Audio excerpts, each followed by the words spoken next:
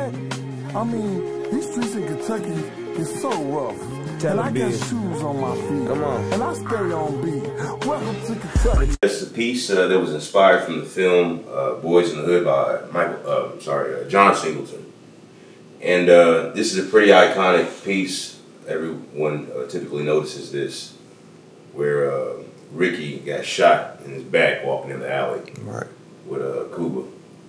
Um, I always liked it. It was a pretty powerful image, you know, the dude hanging out the window with the shotgun. But a lot of people don't realize the actual story behind the actor who portrayed him, and it was uh, was it uh, Avery uh, Lloyd Avery the third, Yeah. and uh, he had like a budding acting career. I think that was his first film, and life began to imitate art, and he eventually ended up going to prison in California, um, where he was satanically, ritualistically murdered by his cellmate and cannibalized. So it, it, it escalated real quick Right. his death did, and uh, it was a pretty eerie situation behind that story. But um, yeah, it's just an iconic piece, man. It's just like it captured early '90s California culture, you know, with the locomotion and, and the, the type of vehicle they were driving in. You know, they were Bloods. He's got a shotgun. You know, um, the song that was playing when they rode up and shot Ricky was Ice Cube's "Bird in Hand." So that's what I named the piece was "Bird in Hand." And uh, I don't know, I like it. It was an idea that I had thought of for a while and then just executed it. But I probably had it in mind to paint it for like five years before I painted it. Yeah, that uh Lloyd Avery story is crazy, man. Once you get into it, Yeah. how he uh he was just a regular guy, and and, and after the movie, he kind of really became a blood, and, and And got into that life. It's Right. like, well, most people do the opposite where they might have a rough life and there's a silver lining and they, okay, I got an acting career. He had a nice career, could have took it either direction, but kind of went backwards. right, and ended up going from acting in a critically acclaimed movie, a cult, cult following, uh, to going to be uh, eaten by his prison mate. man. All right, just following you through. Uh, what you got here? All right, yeah, this is uh, from a film, um, Shawshank Redemption. It's one of my favorites. Right, Tim Robbins and Morgan Freeman. Uh, it's a pretty cool piece. It's another movie that I like. I think when I painted this, the watercolor, it really matched up with the brick, how the brick was in the photo, and how it is in the film. It was my favorite part. It's like it's kind of abstract, but it still kind of brings through uh, the belief that there's actual brick behind these people. I did a convention with um, Patrick. Uh, what's the T one thousand from Terminator Two? Uh, you'd have to ask him. He, Patrick Dempsey? no, no, not Patrick. No, no, uh, Patrick. Um, he, he played uh, in uh, John Cena's Peacemaker. He played the anti, uh, the white supremacist. Uh, I always forget his name, but I, I met him at a convention. He's a cool ass dude. But he had told me that how much of a cool ass dude Morgan Freeman was. He had worked on a film with him. He was like, "Oh, Morgan, he's a really good guy, man. Just like a genuinely good guy." So that was a pretty cool piece. He had came by my booth and saw a print of that. yeah, that was uh, one of my favorites. I like it. Yeah, I gotta get get it framed soon. This is a piece from the film Akira. I, I'd scour the internet to try to find um, giant printouts or posters or canvas, and it's extremely hard. Come to find out to find any type of really large canvas to get mailed or to even purchase. So uh, I decided just to buy some canvas myself and paint the art on it myself to hang it up because I wanted a really big piece of uh, Tetsuo and Kaneda from the manga. So I did it and Gotcha. hung it up. It's pretty cool. I get to wake up and I'm half asleep and I look at that. It makes me pretty happy. And uh, over here, there's more uh, more prints and pictures I bought from different artists and different conventions. I got stuff everywhere. I mean, I got autographed pieces from Sam De La Rosa, who uh, he did Venom for many years for Marvel. Uh, if you go in here, actually, this right here is a, another piece I got framed from a place I used to work at. This is uh, an artist named Serpieri. He's an Italian artist. He's probably about 82 right now, but he was really uh, famous in a heavy metal magazine in the early 80s and throughout the 90s. And uh, learned a lot of from his art, like his watercolor technique.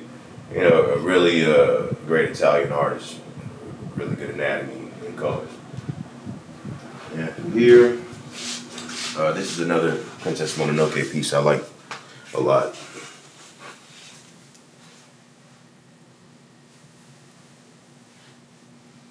When you when you see something that you like and you go to purchase it, what is it about some a piece of art that you want to uh, makes you want to spend your money on it? Okay, well, this one in particular is from uh, an anime, uh, Princess Mononoke, but um, the way he did it was like a real life rendition of what the person would look like, you know, in our reality. And I don't know if it's, it's eye capturing, and uh, it's just a really gorgeous piece. It's, if it stands out, I like it. Um, this is from another, um, one of my favorite artists. This is Yoshitaka Amano. He's a Japanese artist, probably the world's most foremost uh, fantasy artist. And he's worked on everything from um, Final Fantasy, I think Gatchaman. Um, I got this. It was a signed by Bruce Campbell. Um, it's one of the Scare Fest here in Lexington. And he autographed the watercolor. That's pretty dope. Yeah. Evil Dead, Bruce Campbell. Mm-hmm. He's a pretty cool guy. Uh, this right here is a piece I did for Salt-N-Pepa. And they actually hung this up. You can come up and get a shot. They had hung this up in the green room. But I forgot at the time that these two didn't like her. Right. right? They had fallen out. I forgot about that. So it made its way to the green room. And uh, one of their backup dancers even like shouted them out. Was like, because I had tagged their name in it and he's like, oh, yeah, check this out. And they gave no response. And I'm pretty sure it's because they didn't, they wasn't getting down with her, right? Right. And then maybe three months later, I think they had a Hollywood Walk of Fame and they was all together and they was like, oh yeah, we could. I'm like, y'all could have had this little money powwow get together right. before, you know, they shouted me out or something. Yeah, Spinderella got, she, she felt she got left out of the group. Mm-hmm. But, uh, I don't know. It made it to the green room and they saw it, so I, I don't know. I guess it was cool. It was cool for them to allow me to do that. Right. I got a pair of these two. I came out with my own shoes like three or four years ago.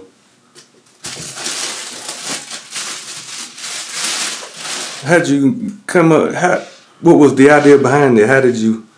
I don't know. It's like a live shoes. I mean, if you if you come up with the design and you sell enough of them, they, they go into manufacturing. Right. And uh, Pretty cool. Put like the art, my artwork in the tone right there. they're pretty slick. I sold like maybe 20 pair. Manufactured in Bergamo, Italy. They uh, retail for 220. Yeah, I'm dope. I like it. You know, like I said, Mr. Bird, Song is a all around Renaissance man, entrepreneur.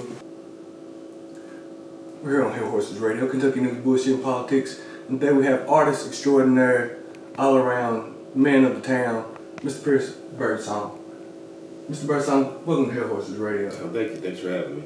And the reason I wanted to get you on the show is because he does a lot in the community for the art community.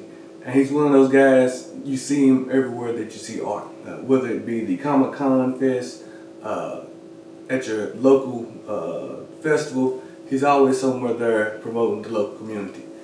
So, Mr. Birdsong, we'll jump right in. As far as art, how long have you been, has your heart been in the art? Uh, since I was a child, you know, uh, late 80s. Been really young and like drawing on the wall crayons, getting whooped for it. What was the first thing you were proud of? It was um, a picture of Goofy that I inked, and I, my father was locked up, and I sent it to him, and I thought I did a really good job on it. And I was like, oh man, I'm good at this. Yeah. Uh, now, as far as something like that, tell tell us about your childhood and, and growing up without a father, how that or did that influence your art? Um, I'd say it influenced it because when we would correspond, he would typically get like a prison artist to always draw Mickey Mouse or some cartoon character on the envelope, and I would see that and I would get pretty inspired. I'm like, oh, these guys are in prison doing really good art, um, and that helped out a lot. I'm like, okay, cool. These there's other artists, you know, no matter if they're locked up or not locked up. I thought it was just cool that. So kind of art kind of built the bridge uh, between you and your father. Um, I wouldn't say it was directly like it, it had anything really to do on our relationship. It was just that I was thought that was awesome that these guys are doing really cool art. Um, now, other than that, I don't think he really had any influence on me doing art. My mother's the one that actually had the artistic Okay. ability. She she was the one that actually can draw. But other than that, it was just I don't think neither one of my parents. I, I would say um, when I when I was a child and I would draw on the wall, she would scold me for it and beat me for it, and he would be the one that would just be kind of passive about it and laugh. So uh, maybe that had something to do with it. But I mean, she she knew where you got it from. She she probably did the same thing when she was young. uh, you know, who knows? Um, like I said, she surprised me one day when she drew like a, it was a character from uh, Nickelodeon's All Real Monsters. And she just never draws. I'm you can draw it well, yeah. I just don't draw. So yeah, that was pretty funny. When did you realize you could make a living? I, I don't. I have not realized that I could make a living off of art. And some people, you know, it's weird. Some people are able to do that. I mean, I, I've I have made a living off of it. Um, it wasn't more so long term. It's, it's like I had a two or three year span where I was making decent money, doing like a lot of large scale murals and stuff, and it really slowed down after COVID. Um, I still like, you know, I work for a, a comic company called uh, 5050 Comix based out of Houston, Texas. One, one of the owners lives in Houston. The other owner lives in Cleveland, Ohio. And, um, you know, I, I'll do an issue. You know, I'll work as an illustrator and a colorist and an inker, and I'll get a residual check. I can pay a light bill or I can pay my water bill, you know. I mean, it's, I mean, it's coming from you know I used to run in the uh, music industry, so to be able to uh, pay your bills off your your blood, sweat, and tears, so to speak, it's it's pretty cool because not a lot not uh, a lot of artists are able to do that you know for any time span. So you know to be able to provide a living doing Right. something you love is kind of amazing. That, that's a good feeling, you know. Like you do an art project and you, you know, taking on three, wearing three hats, doing three roles, and then you get a residual check, and then I actually pay the bill. Okay. Now the whole goal is to keep the process more fluid and rapid, and actually get more money to where I don't have to go wake up and clock in at you know a job. Yeah. You know. So. it's kind of all of our you know our goals is to Yeah. provide a life for ourselves doing something we love. And that's why I started my own separate business. You know, I started a caricature. It's primarily a caricature business, but I'll do like other out, art outlets. Uh, it's called Bird Draws Inc. And so uh, I'm doing caricature art. So people have like wedding receptions or birthday parties. Tell us a little bit all that you do, because I know it's kind of hard for us to, to get into all of it. But tell us some of the high points that you're, you're proud of. Um, I've been working as a personal trainer off and on for the past five or six years, uh, working at different locations. That's been pretty cool. Uh, I've tutored art. You know, I had a few art students. Um, I've had a few martial arts students also. Uh, a kid, Max, he, he did really well. It was his first time doing anything I think I might have seen that on Yeah. Instagram. And uh, I mean, he went to the Bluegrass State Games and won a bronze medal in his first outing. Granted, I don't know, maybe every kid who participated won a medal. I think he actually, you know, I think he he's placed kinda- third though. You know, he's kind of selling himself short. Uh, he just showed us a pair of shoes that he designed, which you'll see later at some point. Uh, they are pretty dope. Tell us about how you came up with the uh, idea for shoes. No, it was just like an, uh, a live shoes. I mean, anybody can do it if you have the capital and you actually sell enough shoes. Right. Uh, it's just that I came up with a design and enough people liked the design and they bought enough to where the shoes actually went into the manufacturing stage. Gotcha. You know, and uh, I just came up with colors that I like and uh, I actually put my own watercolor art in the tag in the tongue of the shoe to make it a bit different. But they- basically have stock standard designs. It's just that if enough people like your design and you can sell it, it goes into the stage. Not everybody makes it to the stage. So that's how they came about. Tell us some about some of the uh, Comic Con festivals. Tell us because we want people to get to know you and your crowd, your audience. What is one thing that people will learn by going and, and seeing those those those festivals? I mean, if you're just a fan of like a, you know, either a paranormal scare, like scare fest type of comic uh, convention, or just like a regular Comic Con, um, you get to meet different actors and artists that you might have grown up liking, or you know, if you're a collector, like you know, you see all the different photos and pictures I have here, I've collected. Um, if you just like want a social gathering, it's really cool to meet people in movies that you've grown up watching. And like, oh yeah, I get that. When I was eight years of age, I was watching this movie. And I get to meet this guy. And he's like 80, he's almost dead. I get to meet him. you know, like Kevin Conroy, he just passed. Voice of Batman, he died. And uh, I would see him in multiple conventions and never met him before. Same thing with uh, was uh, John, uh, the Green Ranger, he just passed. I would see him in multiple conventions. I just never actually walked up and met him, you know. But I, at least I seen him in person, you know. I wish I would have walked up and met Kevin Conroy or got an autograph from him. Yeah, you rest in peace. yeah. Uh, and as far as art, let's let's get into what art is to you. What is something that you would tell a young artist that you have learned throughout your troubles of, of trying to make your art well known? um, I don't know, the first thing that comes to mind is get your money up front and make them sign a contract. yeah, Yeah, I mean, I mean, it's, it's, it's, yeah. it sounds basic, but it, it's yeah, cause I mean, unless the person's really, really cool, you know them really well, you ain't got to worry about this shit. It's just that, hey, look, I, I've gotten into it, and like I was saying earlier, man, everybody wants to like, oh yeah, man, I, I got this wall. I want you to paint. Uh, I want you to paint this truck. Okay, when, where, you know? Right. oh yeah, man, you know, I, I, I, we'll, we'll, we'll get to it. And I'm like, yeah, you know, just I don't need you to pull my chain. And like, I got time, you know, because Right. you could be saying this, and I could have somebody who's serious about it. And now I'm like thinking that you got, I got this big Just wasting your project, and you just talking shit. It's like, Yeah. you know, so uh, I guess just have a very good ground understanding between you and your client. You know, hey, is this set in stone? And that's where you gotta have sign a contract. Right. You know, You know, it, sa- it sounds like simple, but it's one thing that'll save you a lot of headaches and, and, and probably get you some money. It will. It, it, gets really, it, it can get annoying working with a, a client, especially a person who thinks that they know what they want. Right. And they tell me this idea, I'm like, I mean, I, sometimes I'm just like, that's a terrible idea. you know, if this ain't something I'm, I'm jabbing with, I, I find somebody else to do it. You know, I'm, you know, I don't feel comfortable doing this, which is very rare that it happens. I'll pay, you know, just to do just about anything. But, um, yeah. Now, one of the things I, I wanted to uh, talk about was you paint things that you wouldn't see a lot of places, like such as this, uh, the Larry Davis, the Shawshank Redemption. hmm What draws you to these images that you know some people don't see the same kind of art? And wh- where does your eye come from? There's story behind the images. Like I said with this one, it's like not only is it just the iconic images, images from that movie, Right.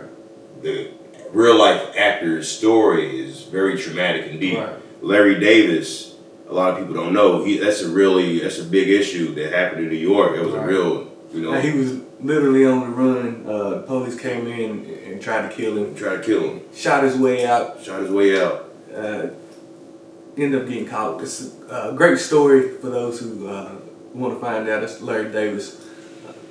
I was supposed to sell a painting to his daughter. I man kept trying to contact her. I'm like, I'll drive it to New Jersey. But Yeah. I don't know. It never did come to fruition. But there's a story behind the Shawshank Redemption. There's a very deep story. Um, like when that movie came out, my grandmother didn't watch it because you know she had three sons that you know my father, my two uncles, they went to prison, so she was all depressed. I can't watch this movie. Yeah. You know, but there's a lot of like issues that certain stories bring up and invoke within people. Um, and you know, I, I like drawing. I like making pinup art. You know, I like doing a lot of pinup comic art. I love painting women, um, studying anatomy. You know, I understand. Yeah. Now, uh, as far as your art, is there a type of is, is there a genre that you would fall into, or is it because a lot of a lot of folks don't understand the art world. I'm, me being one of them. You know, we kind of think that artists fall into. We see different kind of groups and, and different kind of names of these groups. Right, right. Uh, is this is there a specific group or specific art art that you do that your art falls into?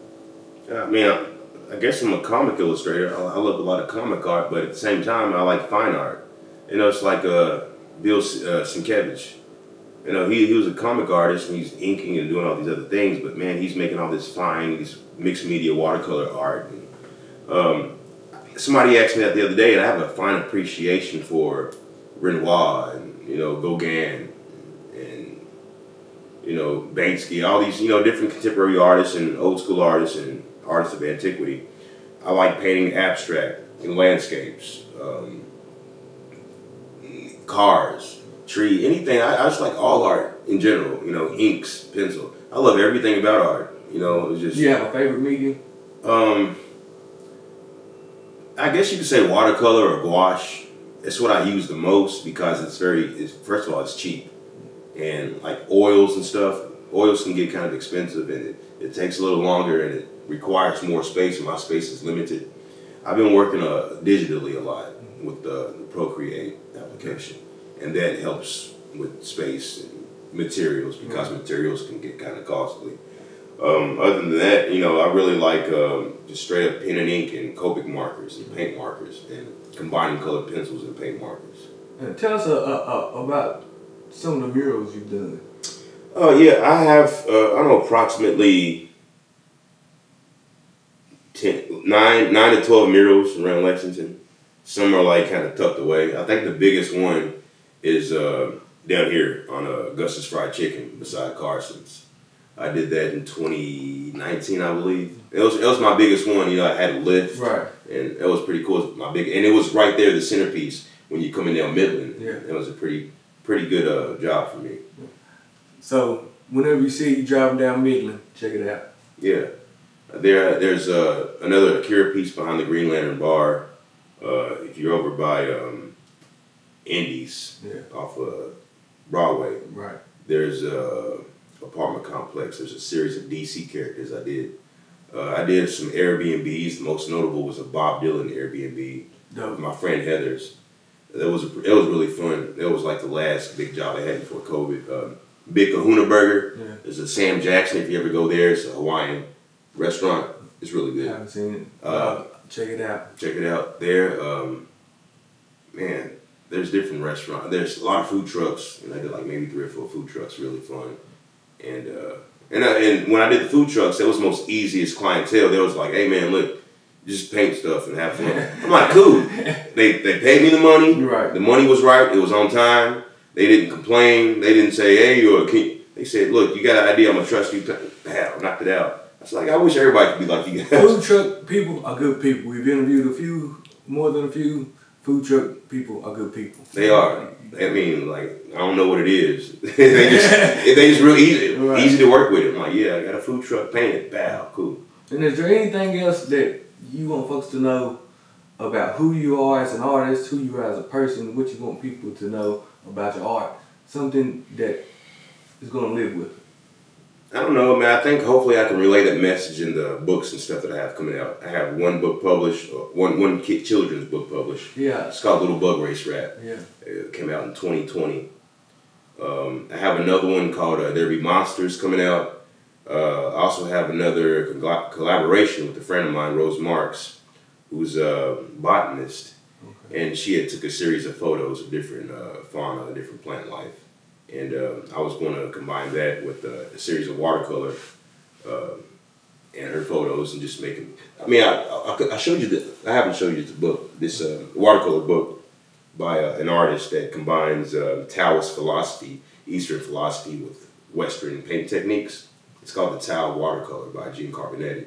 And what she does is she takes like a, a watercolor painting, and then she will kind of like match it with a, a Taoist mindset or you know, some, some sort of uh, psychological component of bringing Eastern philosophy in the painting. So let's say you have a spirit of mindfulness or deliberateness. So every child is an artist, right?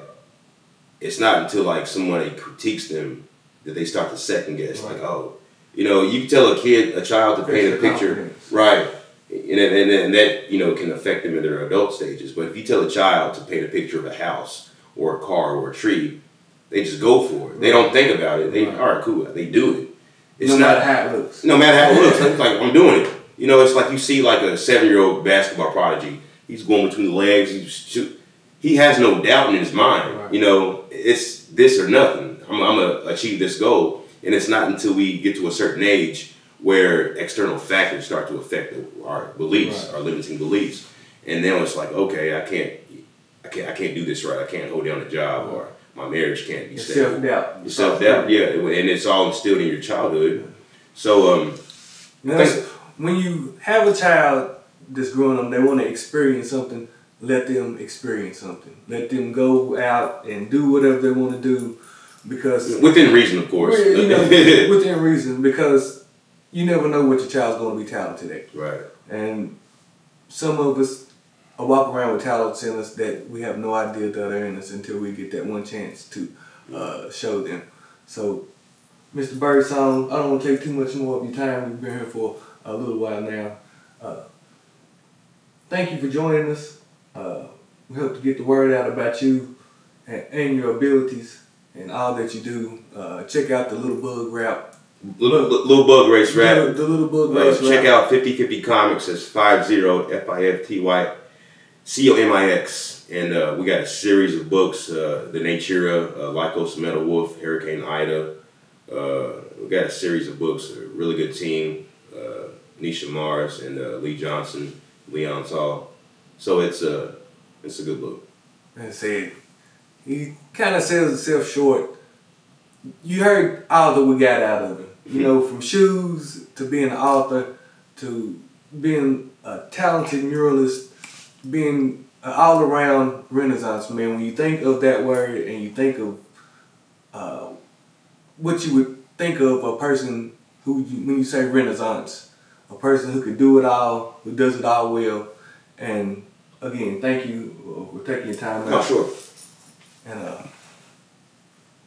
it's been Held Horses Radio, Kentucky News, Bullshit and Politics. We're out.